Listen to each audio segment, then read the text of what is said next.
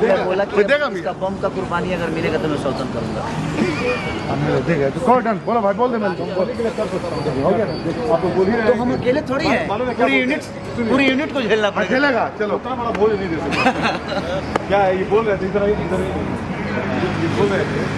अब अभय भैया के जो ओरिजिनल कोई चमचा है ना तो यही है।